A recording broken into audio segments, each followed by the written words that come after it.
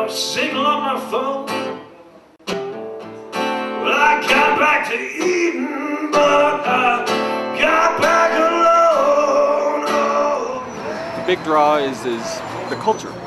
Uh, there's a historical culture of Butte that is this urban culture where people are a little more sophisticated than the uh, surrounding Montana area. I like to think you know, we are. We're an urban center, you know, and it was always Butte, America. It wasn't even necessarily Butte, Montana.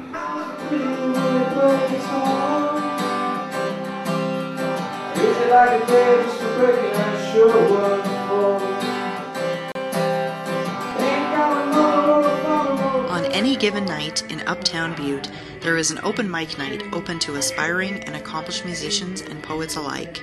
The Blue Luna, the Venus Rising, and Silver Dollar Saloon are places that regularly host musicians and poets to perform their original works. During one such event on a recent cold night, 11 poets took to the stage to recite their favorites. Tonight is Poetry Palooza 2009, uh, the sixth stanza. It's our, our sixth uh, annual event of, of this night where local poets get together and share some of their work.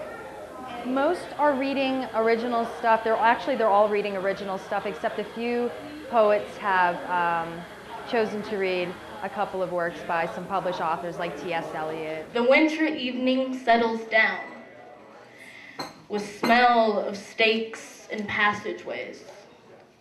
Six o'clock, the burnt out ends of smoky days. McElwain said another reason musicians and poets participate is for the thrill of being on stage, and he's seen several first timers. I had another group, uh, a husband-wife team, that was their first time playing here, and uh, they they did great. They had a great time. They sounded wonderful.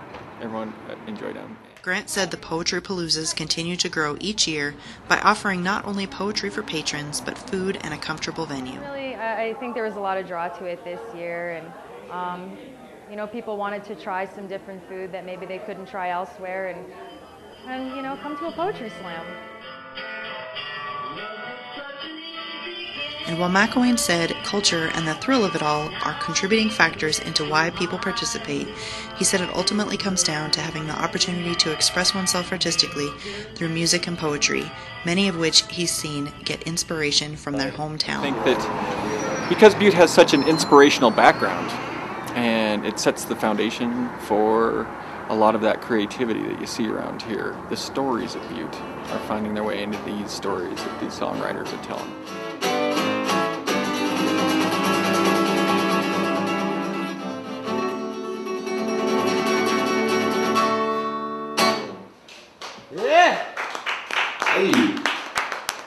Reporting for the Montana Standard, this is Erica Yakowicz.